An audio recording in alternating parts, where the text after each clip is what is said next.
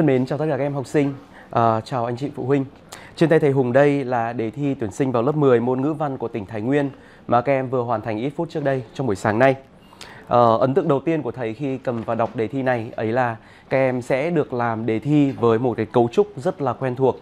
Đề thi của uh, Sở dục và Đào tạo Thái Nguyên năm nay có cấu trúc tương đồng với cấu trúc của đề thi của các năm học trước và chính điều này đã góp phần tạo một điều kiện thuận lợi cho các em trong bối cảnh mà đại dịch Covid đã làm ảnh hưởng ít nhiều đến quá trình học tập và ôn luyện trong suốt năm học. Thì việc giữ nguyên cái cấu trúc đề thi quen thuộc sẽ giúp cho các em có được một tâm lý rất là tự tin và có một kết quả làm bài tốt vì nó phù hợp với cái định hướng ôn tập của thầy cô dành cho các em trong suốt cả năm học.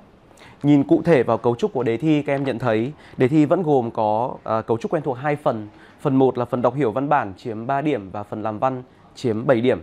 Trong phần đọc hiểu văn bản, các em được đến với một ngữ liệu nằm ngoài sách giáo khoa nhưng đề cập đến một vấn đề rất là bình dị và quen thuộc, tình yêu của cha mẹ với con cái và chính tình yêu thương ấy và chính sự hạnh phúc của con cái mới chính là hạnh phúc chân chính của cha mẹ mình.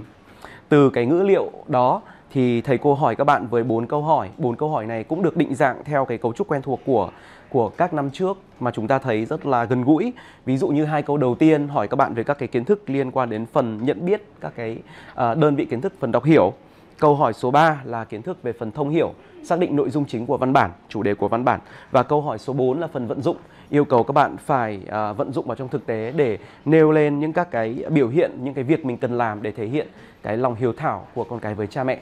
thì những cái câu hỏi, rồi là các kỹ năng làm bài, thầy tin rằng đều đã rất quen thuộc và các em đều đã được luyện tập rất kỹ càng và chắc chắn câu hỏi ở phần đọc hiểu sẽ không phải là phần khó khăn đối với các em trong đề thi này. Ở phần thứ hai, phần làm văn nó chiếm 7 điểm thì như thường lệ câu đọc hiểu à, câu nghị luận xã hội à, 2 điểm yêu cầu các bạn bàn về cái vai trò của gia đình đối với mỗi con người. Đây là một vấn đề rất là gần gũi và bình dị trong cuộc sống, giản dị nhưng thiêng liêng và thầy tin rằng nếu như các bạn uh, có cái sự chú tâm, nếu như các bạn có cái kỹ năng diễn đạt tốt thì mình hoàn toàn có thể viết tốt cái đoạn văn nghị luận xã hội này.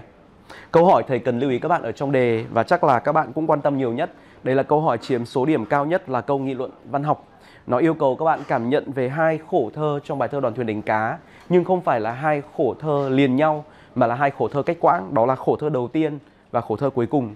Để có thể phân tích tốt và làm tốt bài, các em không những là phải nắm chắc được nội dung của từng khổ mà phải tìm cách và biết được cái sự liên kết giữa các khổ thơ trong cái cấu trúc của bài thơ này với kiểu cấu trúc đầu cuối tương ứng sẽ phải phân tích và chỉ rõ ra được sự vận động của không gian của thời gian sự vận động của các hình ảnh thơ của cảm hứng cảm xúc của bài thơ. Và chính điều đó sẽ góp phần tạo ra cái sự khác biệt và góp phần tạo ra một cái bài viết với các cái phần mà gắn bó với nhau một cách rất là mạch lạc và uh, thể hiện rõ cái chủ đề của hai cái đoạn trích cụ thể cũng như là của cả tác phẩm. Và làm được điều đó thì thầy tin rằng là bài làm của em chắc chắn sẽ giành được điểm số cao.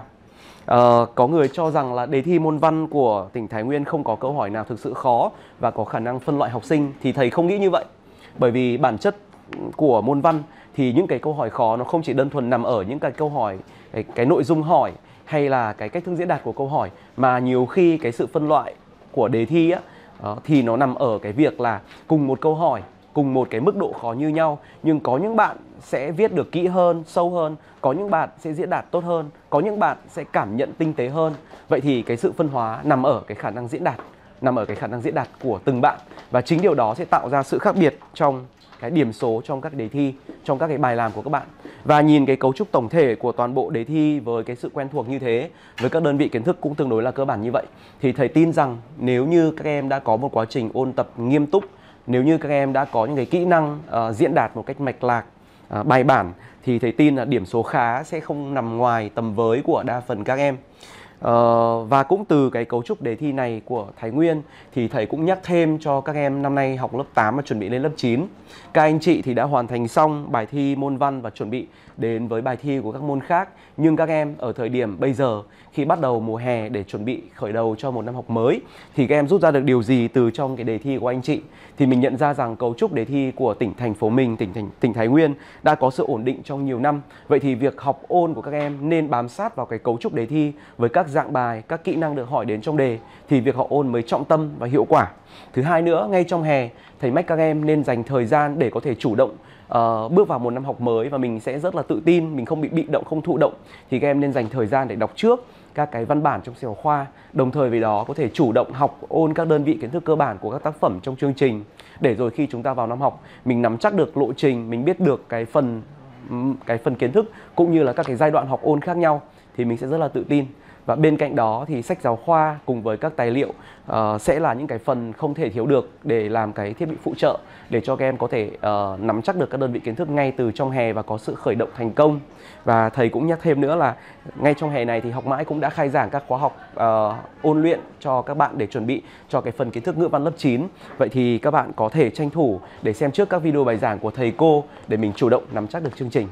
và một lần nữa, thầy muốn gửi lời chúc đến tất cả các bạn học sinh Thái Nguyên. Các bạn đã hoàn thành xong bài thi môn ngữ văn hôm nay. Các bạn hãy tạm gác lại tất cả những âu lo để chúng ta tiếp tục đến với bài thi tiếp sau và hoàn thành tốt nhất uh, cái các bài thi trong cái kỳ thi lần này. Và thầy cũng muốn gửi lời chúc đến các em học sinh lớp 8, các bạn lớp 9 khóa sau sẽ có sự khởi động uh, rất là tự tin để chúng ta có một năm học thành công.